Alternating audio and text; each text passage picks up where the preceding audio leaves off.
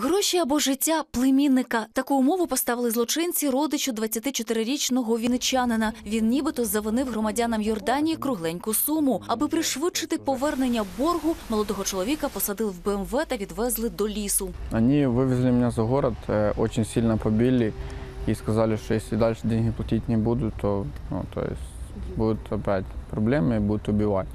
При этом звонили моим близким, угрожали, говорили, что если не привезут там очень много денег, то мне будет очень плохо. Мои близкие привезли им очень большую сумму на тот момент, это было 40 тысяч гривен. Втім, апетити викрадачів росли. Вони знову викрали хлопця та утримали у орендованій квартирі. Як виявилось, півроку тому він на замовлення іноземців пригнав їм за кордону автомобіль. Через деякий час нові власники вирішили авто повернути. Натомість запросили три тисячі доларів. Потерпілий пообіцяв це зробити після того, як продасть машину. Між тим його поставили на лічильник. Вони цього хлопця незаконно утримуючи, вивезли за межі міста, почали його катувати, бити і заставили його написати боргову записку в розмірі 40 тисяч доларів США. Зловмисників піймали під час передачі решту боргу. Ними виявилося троє студентів. Цього року вони закінчили навчання у Вінницькому університеті та до кінця липня мали повернутися на батьківщину. Натомість доведеться сісти за грати.